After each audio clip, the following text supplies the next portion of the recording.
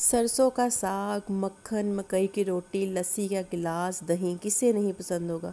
शायद ही दुनिया में कोई होगा जिसे सरसों का साग पसंद नहीं होगा। सरसों का साग सुनते ही सर्दियाँ याद आ जाती हैं और गाँव का एक माहौल फ़ौर जहन में बन जाता है कि कैसे गाँव में साग तैयार किया जाता था। बड़े बुज़ुर्ग हमारे साग कैसे तैयार करते थे? तो आज की इस वीडियो में मैं आपके लिए साग की बड़ी मज़े की रेसिपी लेके आई, जिसे खा कर आप अपनी उंगलियाँ चाटते रह जाएँगे। बहुत मज़ेदार है। आइए चलते हैं इसकी रेसिपी की तरफ़। इसके लिए हमें दो किलो साग, एक किलो पालक और एक गुट्टी जो है वो बाथू की चाहिए। बाथू से ही तो इसका जायका सारा निकलना है। तो आइए चलते हैं इस मज़ेदार साग की रेसिपी की तरफ़। मेरी मदर इन ने सारा कुछ काट कूट के मुझे दे दिया था और अल्लाह ताला ने सलामत रखी और मैं बस अब इसे पकाने जा रही हूँ। ये देखिए, मैंने खुले पानी से साग को अच्छी तरह धोया है। पालक, साग बाथू क्योंकि मट्टी होती है ना तो इसको अच्छी तरह दो, तीन दफ़ा धोएँ। इतनी मेहनत की हो तो फिर थोड़ी सी भी उसमें कोई ये गंद वगैरह रह जाए तो सारी मेहनत बेकार हो जाती है। इसको अच्छी तरह मैं दो, तीन दफ़ा बेसन में डाल के, अच्छी तरह सिंक में डाल के धो लेती हूँ। ये साग मैंने एक पालक डाल दिया कढ़ाई में से, एक बड़ा चम्मच हल्दी का डाल दिया। इससे इसकी सारी कड़वाहट निकल जाएगी और इसमें दो ग्लास पानी ऐड कर दिए।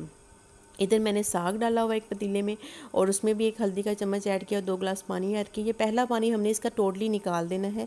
इससे साग में कड़वाहट नहीं आएगी। ये बाथू कटा हुआ, अच्छी तरह धुला हुआ बाथू तो चार पाँच दफ़ा धोना पड़ता है और तकरीबन ये बारह से तेरह जो है हरी मिर्चें हैं।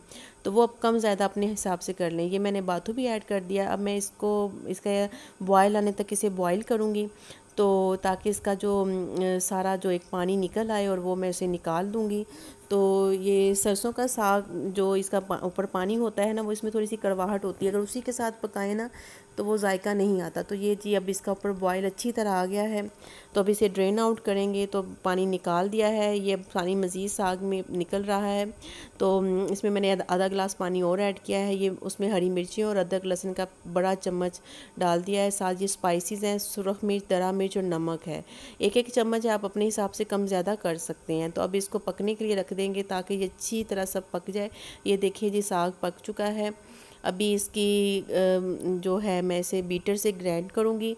गाँव में तो घोटना फेरते हैं उससे करते हैं, लेकिन वो साग का तो जायका ही लैदा होता है। लेकिन शहरों में ब्लेंडर यूज़ कर लिया, हैंड बीटर यूज़ कर लिया तो वो वाला चीज़ नहीं होती। गाँव में अभी भी वो उस तरीके से साग बनाया जाता है, हंडिया के अंदर डाल के और अच्छी तरह घोटना, फेरना, उसका तो है, जायका ही ज़्यादा होता है। तो ये मैं बीटर यूज़ कर रही हूँ, सारे साग को मैं अच्छी तरह बीट कर लूँगी और ताकि सारा कोई पत्ता शत्ता इसका बाकी ना रहे, कोई हरी मिर्च का टुकड़ा वगैरह ना आए।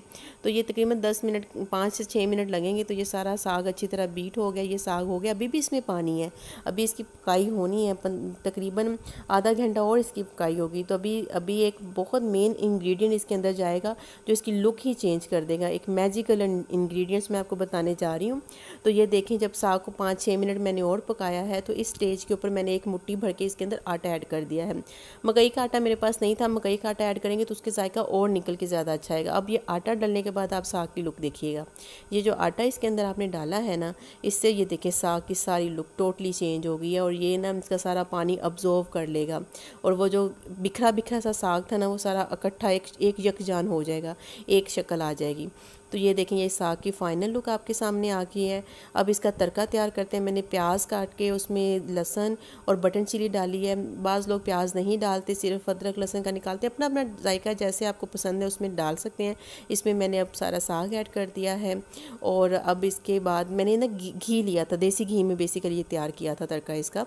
तो एंड पे इसके ऊपर बड़ा सा मक्खन, थोड़ा सा मक्खन डालेंगे और इसको इंजॉय करेंगे। मुझे तो साग, पराठा और चाय इसके साथ मज़े का लगता है। ये चीज़ के फ़ाइनल लुक ऊपर मक्खन का एक टुकड़ा डाला है। साथ मज़ेदार सा पराठा तैयार किया है और एक कड़क चाय का कप बनाया है। रात के टाइम ये तैयार किया है।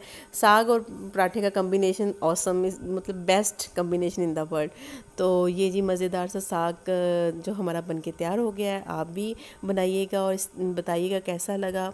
दुआओं में याद रखिएगा। और वीडियो अच्छी लगी हो तो लाइक और चैनल को सब्सक्राइब कर दें। आपकी कीमती वक्त का बहुत शुक्रिया। जजाकला है।